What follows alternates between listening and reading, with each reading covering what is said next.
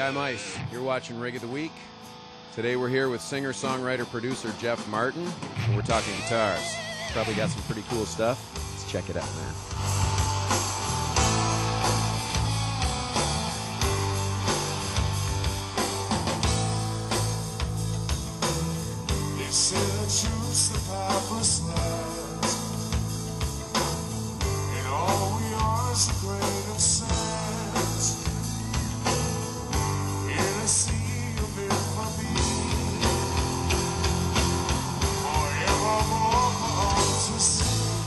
Here, um, this is la pièce de résistance, as they say. Um, this is a guitar um, that's um, built by a company.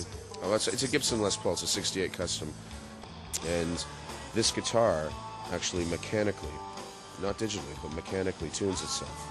So the process is this: is that there's a computer inside, and you can, you can see that. So there's the little LED screen. But this computer, what it does is it tells these six individual arms here how to translate um, tension of the strings into pitch.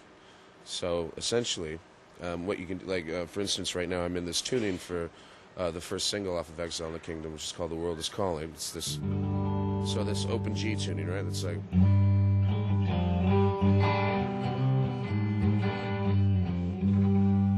But then from this tuning, which is, um, you know, like I said, an open G, I can go to um, the song "Where Do We Go From Here," which is the second single off of Exile and the Kingdom, which is a totally different tuning. So that's that. That's the world is calling. Then